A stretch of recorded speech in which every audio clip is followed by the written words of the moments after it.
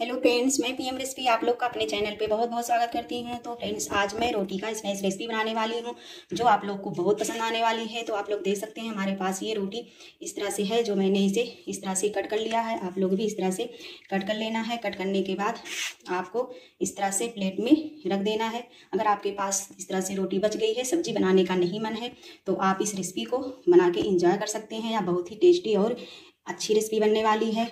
जो सभी को बहुत पसंद आएगा, आप इस रेसिपी को बच्चे के टिफ़िन में या ऑफ़िस बॉक्स में बना के दे सकते हैं या खुद सुबह शाम के नाश्ते में भी बना के खा सकते हैं।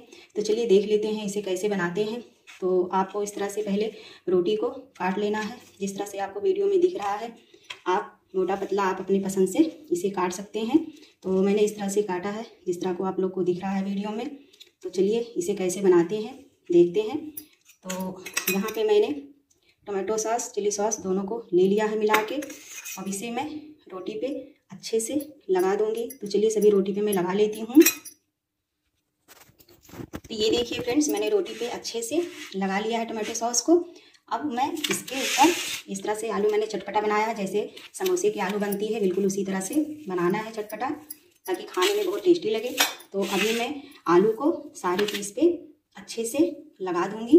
तो चलिए अच्छे से लगा लेते हैं। ये देखिए फ्रेंड मैंने रोटी पे अच्छे से आलू का मिश्रण लगा लिया है, जो मैंने बनाया था। अब इसके ऊपर मैं, ये देखिए मैंने मसाला लिया है। इसमें ये काली मिर्च का पाउडर है, चाट मसाला है। अमचूर पाउडर है, थोड़ा सा मैं इसके ऊपर अच्छे से लगा देंगे, ताकि यह थोड़ा सा और चटपटा यम्मी बने। तो चाट मसाला, काली मिर्च अमचूर पाउडर मैंने अच्छे से लगा दिया है, आप लोग देख सकते हैं। बस, अब ये हमारा मिश्रण भर के अच्छे से रेडी हो गया है। अब आगे क्या करना है, वो देखते हैं। तो यहाँ पे ये देखिए, मैंने मैदे का घोल लिया है, जो इस तरह से बनाया है। तो आपको क्या करना है, इसे चिपकाना होगा रोल को। तो पहले यहाँ साइड में अच्छे से लगा देंगे और इधर भी लगा देंगे। बस, अभी में क्या करना है, इसे अच्छे से फोल्ड करना है। तो अभी मैं आपको फोल्ड करके एक दिखाती हूँ, कैसे फोल्ड करना है। तो ये देखिए अच्छे से फोल्ड हो गया है। बिल्कुल एकदम रोल बन के तैयार हो गया है। तो चलिए इसी तरह से मैं सब रोल कर लेती हूँ।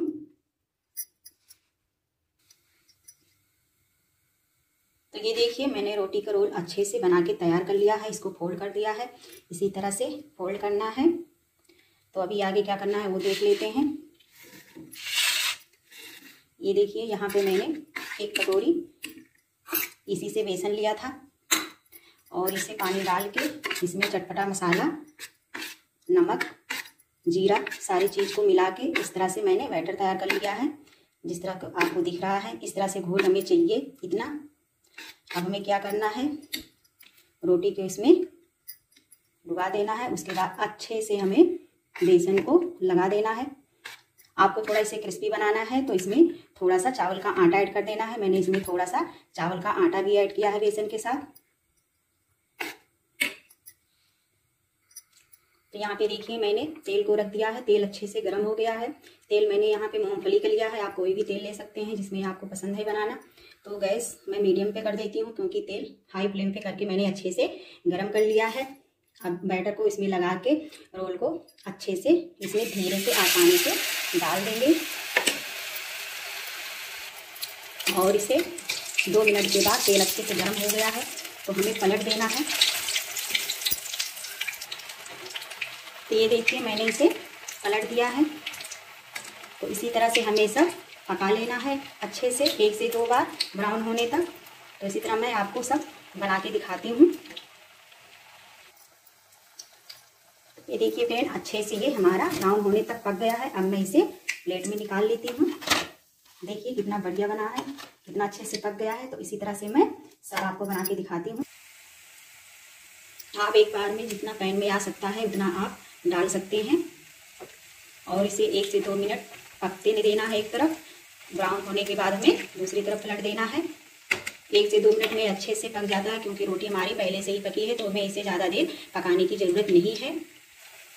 तो ये देखिए, दूसरी तरफ़ मैंने पलट दिया है। अब मैं इसे पूरा बना के आप लोग को लास्ट में दिखाती हूँ। तो ये देखिए फ्रेंड्स, हमारा रोटी का रेसिपी अच्छे से बन के एकदम रेडी हो गया है। बिल्कुल एकदम क्रिस्पी क्रंची बन के तैयार हो गया है तो आप लोग देख ही सकते हैं। कितना बढ़िया बन के रेडी हुआ है।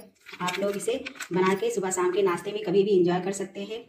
तो आप इसे खट्टी मीठी चटनी के साथ, किसी के भी साथ खा सकते हैं।